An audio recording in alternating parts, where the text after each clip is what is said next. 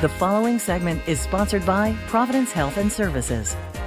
This segment of Afternoon Live is brought to you by Family Matters. Health and education, safety, and the quality of life. K2 and our partners are proud to bring you Family Matters, offering solutions to the hard questions. Because K2 and Providence Health and Services know that family matters. Thanks for watching Afternoon Live.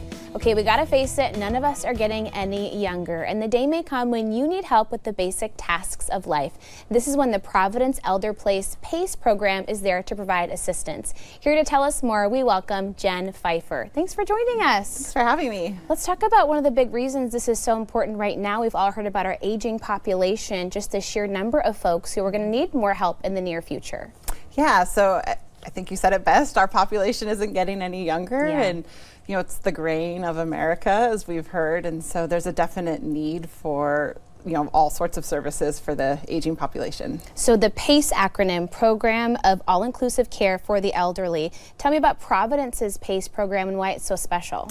Yeah, PACE is a unique model of care in that it is both health insurance and a medical provider. So we are offering full wraparound supportive services that you might not see in a traditional insurance model. We're able to provide services to keep people living independently mm. in their communities. That's a big relief for those folks and their loved ones who want to support them, especially living independently as long as they can. That's a big goal of a lot of people. Absolutely, yeah. And, and really the whole program is based on keeping people in the community and keeping them you know, independent. So who qualifies and how does that work if you want to get started? Yeah, great question. So we typically care for those that are financially Medicaid eligible, okay. although we do have a private pay option.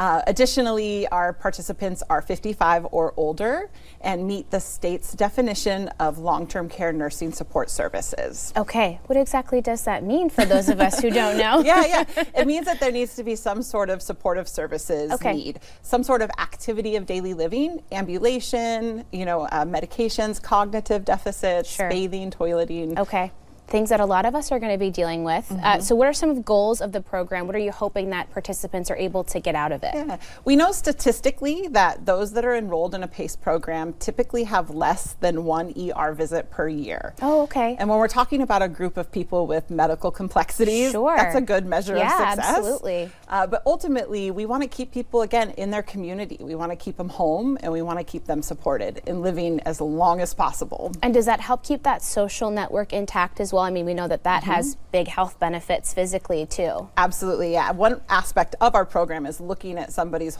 holistically, right? Sure. So we're looking at their uh, medical, physical, and social needs.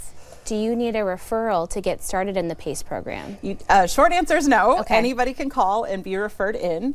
But what we want to really encourage people to do is plan ahead. Mm -hmm. Be looking at supportive services before there's a crisis. Yes. We cannot enroll somebody if they're currently in the hospital or okay. in a long-term nursing stay. So we really want to, you know, promote planning ahead yeah. and encourage those families to think about, you know, the possibility of a PACE program. Do you find such relief in families when they're kind of navigating what to do for maybe a parent or someone mm -hmm. they're caring for and they find PACE and they go, oh my gosh, we can keep them in their home and get them the support that they need without really disrupting their lives. Yes, absolutely. That's a major aspect of the PACE program, kind of alleviating those factors that create caregiver burnout. Mm -hmm. So we're able to take on some of that responsibility that might traditionally be left to a family member or sure. a care provider.